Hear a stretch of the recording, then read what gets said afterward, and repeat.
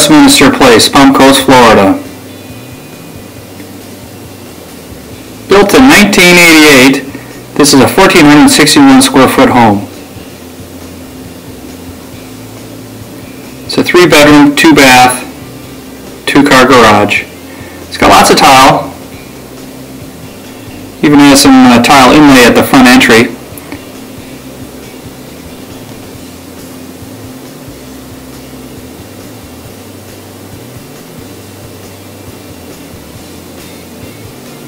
Okay, now right into the garage. There's some repair work up there. I'm taking a good shot of that for you. Just appears to be drywall, it's nothing major. Your utilities, your washer and dryer will be out in the garage. Some extra cabinetry they put there. And there appears to be there, I don't know if it's working, but of course that's what an inspection is for. It's a little eating area outside of the kitchen. Kitchen is okay, um, needs updating badly.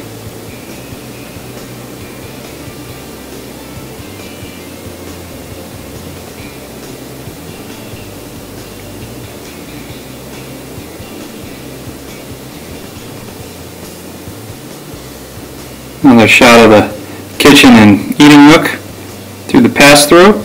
Okay, and now we're into the master bedroom.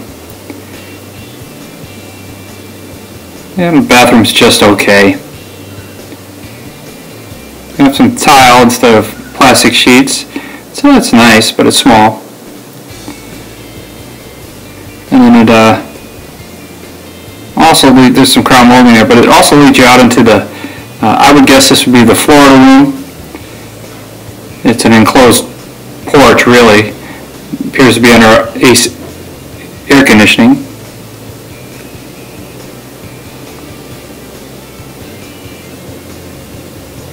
And then we go into the other side of the house, a split plan, see the other two bedrooms.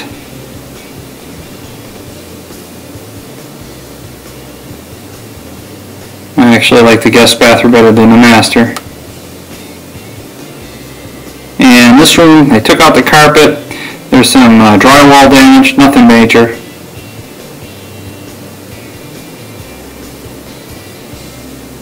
Another and let's go outside and check out the rest of the house. I do like the entry. Uh, the porch is nice and I like the architectural features. You do have wood soffits. Um, your modern house have vinyl.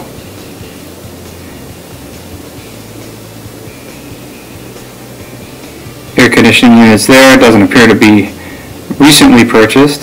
And you can take a look at the soffit. House is uh, built in 1988, but it appears to be in good condition considering it went through a bank owned. Now, the property does back up to uh, Belle Terre, which is a busy road here in Palm Coast. However, there's nobody behind you as far as living wise, so you know you have to trade that off a little bit. And you can see that uh, what's outside is a slab, and the reason there's just a slab is because they enclosed the porch to make living space right there. The roof uh, appears to be original, and I do see some patchwork that's up on the shingles. Um, Whether it leaked or not, I don't know.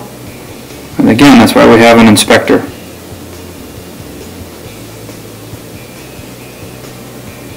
Okay. That's it. You guys have a good day.